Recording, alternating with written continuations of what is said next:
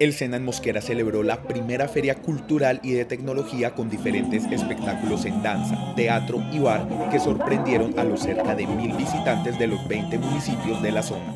Nosotros estamos rescatando en esta feria una feria que antiguamente se denominaba la Feria de las Colonias.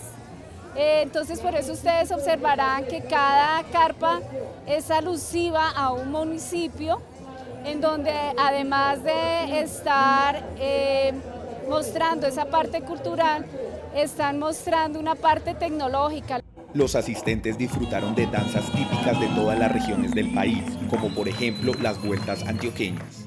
Eh, nosotros estábamos haciendo una representación cultural acerca del baile representativo de la región del Quindío, que fue la que nos correspondió, y se llaman las vueltas antioqueñas. Estas vueltas se componen de unas pausas para realizar unas coplas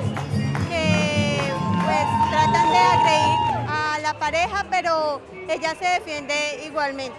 Durante la feria, los espectadores tuvieron la oportunidad de apreciar un show de Flair Bar, donde aprendices demostraron sus habilidades con las botellas. Flair Bartender consiste en trabajar con estilo, trabajar detrás de la barra con estilo, ¿sí? para preparar las bebidas.